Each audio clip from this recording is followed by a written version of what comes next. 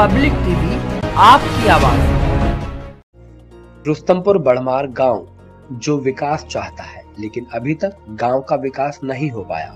जब भी बाढ़ आती है तो गाँव मानो जलमग्न हो जाता है। ये कहना है गाँव के ही मतदाताओं का। जब हमारी टीम ने गाँव के लोगों से बात की तो उनका क्या कहना है? आइए सुनते हैं। नहीं पिछले सालों में तो कोई विकास विकास कोई दिखाई नहीं दे रहा। आप जिधर जाएँगे उधर को आप शिकायत शिकायत मिलेंगे। चार प्लाट है, ये चार जगह बसा हुआ है ऊँचा गाँव जिस गली में भी जाएँगे, जिस आपको ऐसे मिलेगा, कोई वैसी ईट नहीं मिलेगी, पत्थर वाली वैसे ये मिलेगा, कच्चा वाला। कोई सही प्रत्याशी अभी तक आया ही नहीं, सर। हाँ अब जब तो जब तक तो जो भी आए अपना अपना भला चाहते हैं, सब। लूट खसोट आज समझ में, गल्ला तलक तो पूरा देते नहीं। पब्लिक का जो गल्ला आता है वो तलक तो पूरा देते नहीं वो उसमें भी सारे काट काट छाट के कम तोलते हैं वो करते हैं दुनिया भर के तो वो करते हैं। और कैसा प्रत्याशी द्वारा आप चाहते हैं?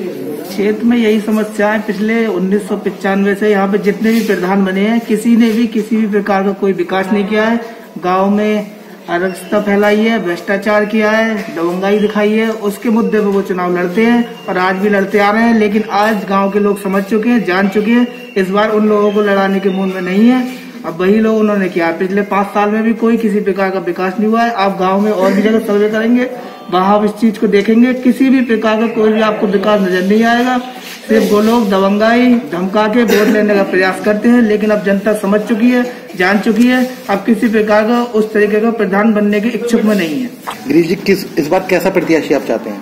इस बार हम प्रत्याशी चाहते हैं जो गाँव को उन्नति की ओर ले जाए शिक्षा के क्षेत्र में आगे बढ़े जो हमने इस बार प्रधान चुनने का निर्णय लिया है, वो हमने पूरी तरह से सही प्रधान चुनने का निर्णय लिया है। क्योंकि पिछले पंद्रह सालों से मैं भी देखता आ रहा हूँ कि किसी भी प्रत्याशी ने कोई भी विकास नहीं किया है। सबने अपना पेट भरा है। किसी ने दबंगई दिखाई है। क्योंकि पिछले पाँच सालों में हमने जिस प्रधान को चुना था, उसके पति की मौत हो गई थी तो किसी और ने ही प्रधानी की। उन्होंने कोई विकास नहीं किया। पब्लिक टीवी, आपकी आवाज़।